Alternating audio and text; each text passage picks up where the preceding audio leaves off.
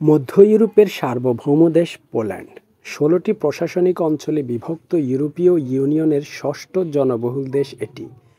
এই পোল্যান্ড শুনতেই বহু বছরের সংস্কৃতি, ঐতিহ্য, সমুদ্রের নীল জলরাশি আর সবুজের ছায়া মিলেমিশে একাকার হয়ে যাওয়া এক অপরূপ সৌন্দর্যমণ্ডিত দেশের কথা মনে আসে।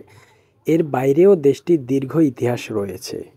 ইউরোপ মহাদেশের মধ্যস্থলের একটি রাষ্ট্র ও ঐতিহাসিক অঞ্চল পোল্যান্ড। স্বাগতম হান্ড্রেড জোনের আরও একটি নতুন এপিসোডে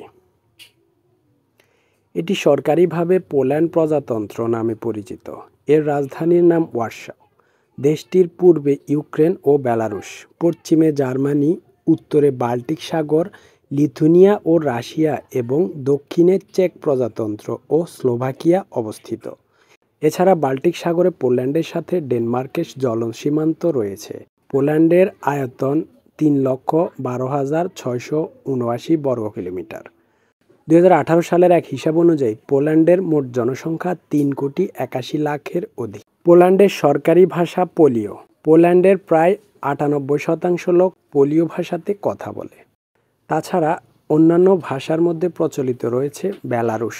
জার্মান ইউক্রেনীয় এবং রোমানি ভাষা।